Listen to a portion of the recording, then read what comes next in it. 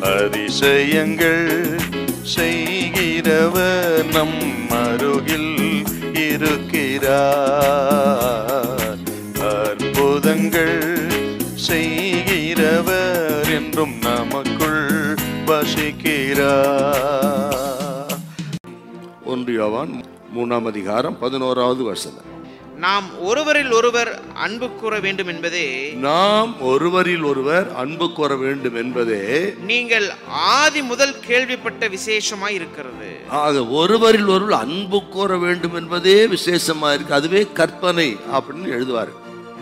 கற்பனையினுடைய முழு சாராம்சம் அன்பு. இரக்கத்தின் அடிப்படையில் தான் நியாயப்பிரமாணம் இருக்கிறது. ஆனால் யூதர்கள் அதை அறிந்து கொள்ளவில்லை. ஆக இரக்கத்தை விட்டு விட்டுவார் ஆகத்தான் அப்பா சொன்னார் பாருங்க பலி அல்ல இரக்கத்தையே என்பதை போய் நீங்கள் கற்றுக்கொள்ளுங்கள். ஆக எல்லாம் இரக்கத்தின் அடிப்படையில் தான் இருக்கிறது. நீ எந்த பிரமாணம் எடுத்தாலும் சரி.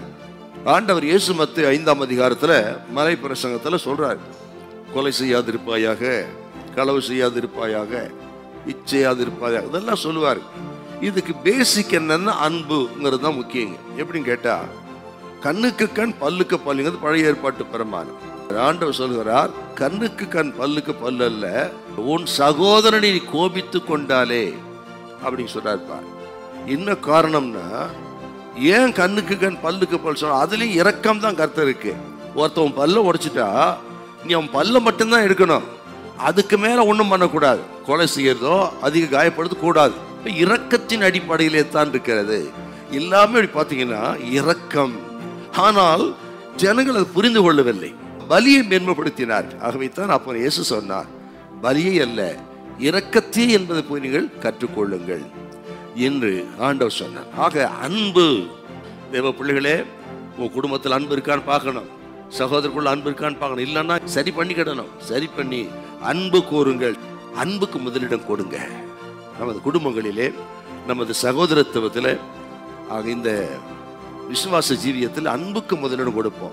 எந்தெந்த குடும்பங்களிலே அன்பு இல்லாமல் அன்பு தாட்சியோடு ஆக கசப்பு பகை வெறுப்பு இருக்கிறார்கள் அந்த குடும்பங்களை தேவன் அன்பை ஊற்ற போகிறார்.